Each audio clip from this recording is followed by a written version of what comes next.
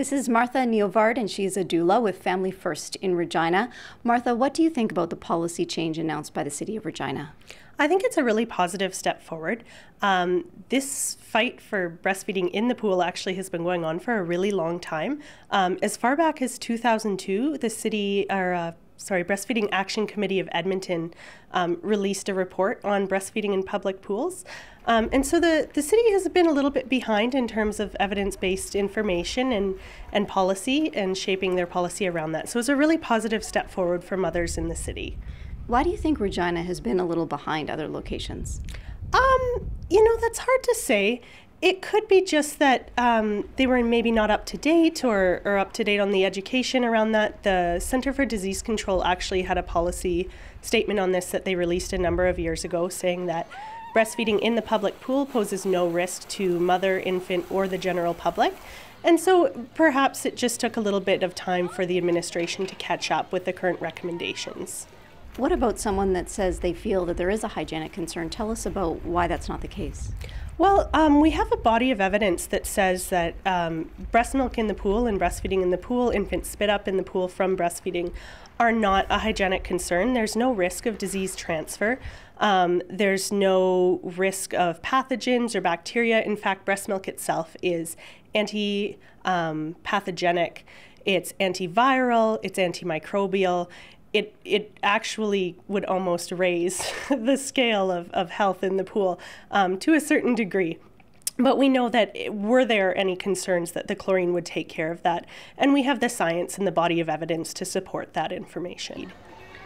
We have a society that at times can glorify a woman's breasts, it seems, until it comes to the point where they're being used to feed a child. Why do you think there's that difference in the attitude towards breasts?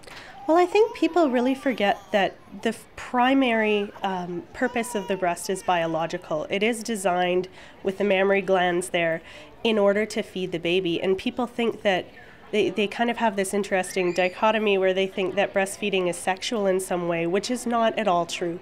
We know that breastfeeding promotes best health for, for mother and for the infant as well. And so um, it's again sort of a, a cultural thing and we're seeing that cultural shift where people are realizing, you know, it's more important to have a mother breastfeeding her infant than it is to hold this view that uh, breasts are sexual. When, when we see it, it takes the sexual out of it. And for some people, that's disturbing and they're not sure how to handle that. But it's, it's a matter of education and it's a matter of cultural shifting as well. Is there something that's next or something else you see that we should be looking at and taking on as far as sort of climbing some of these mountains to change and educate about breastfeeding? Yeah, I really think um, we need to focus a lot on prenatal education. We also really need to look at public education. Whether the baby is breastfed or whether the mother's showing breasts, it's not an issue of modesty or of discretion. This is an issue of public health. When we prevent mothers from breastfeeding their babies by putting barriers in the way, we prevent the health system from moving forward. We actually cost the healthcare system substantial amount of taxpayer dollars.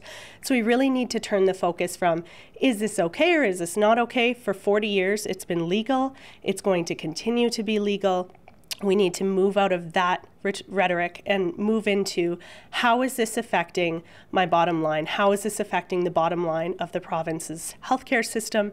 And how is putting these barriers in mother's way uh, affecting maternal mental health, isolation, and how is it affecting the babies? Thanks for your time today, Martha. Thank you.